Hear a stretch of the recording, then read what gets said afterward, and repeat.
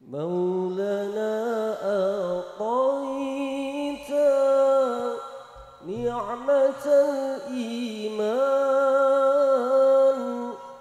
علينا بإيمان. يرسل الإنسان. مولانا